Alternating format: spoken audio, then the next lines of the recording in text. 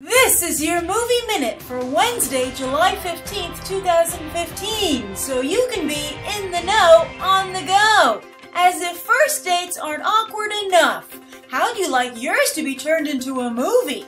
Well, at least Barack and Michelle Obama's first date had a very happy and historical ever after.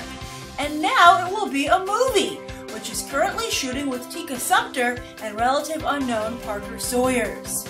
You know, back then, Michelle felt Barack was an amusing overachiever who she didn't take very seriously.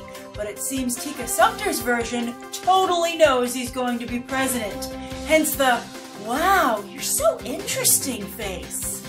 And it seems Sony already knows that Hotel Transylvania 2 is going to be a hit, as they just greenlit a TV series based on the Adam Sandler Spooktacular.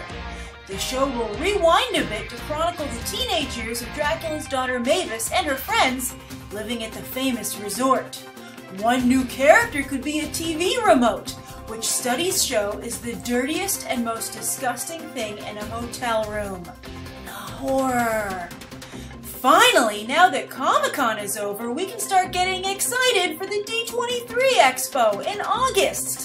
And despite all their big brands, the Mouse House isn't taking any chances, gilding the lily with a star-studded group of inductees to their Disney Legends program. George Lucas, Danny Elfman, Susan Lucci, and famous Disney animator Andreas Deja will all be at the convention to receive their awards. By the way, if you know who Andreas Deja is, as I do, then good job! Fans like us are part of the Disney legend too, right? Where's our award?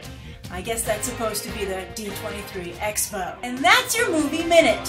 For more in-depth coverage of these stories and more, be sure to check out the links in the video description.